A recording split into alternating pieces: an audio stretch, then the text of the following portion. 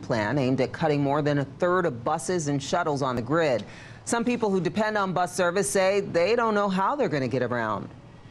because I can't drive.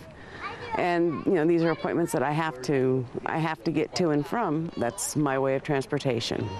A public hearing on the new changes will be held tonight in Lakewood. Boeing is headed to court this week in a lawsuit over its new 787 production line in South Carolina. The National Labor Relations Board and the Machinists Union are suing the aerospace giant, claiming the company set up shop in South Carolina to avoid labor disputes in Washington. Boeing denies the claim and says it has a right to make its own business decisions.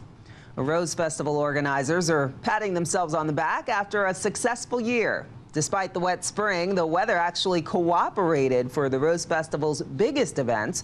The traditional Grand Floral Parade attracted huge crowds, and so did several new attractions at City Fair along the waterfront. We've had a huge renaissance of the Rose Festival the last two years. Um, you know, financially, we were able to produce a quality festival and rebuild our reserves. The Rose Festival isn't officially over yet. Next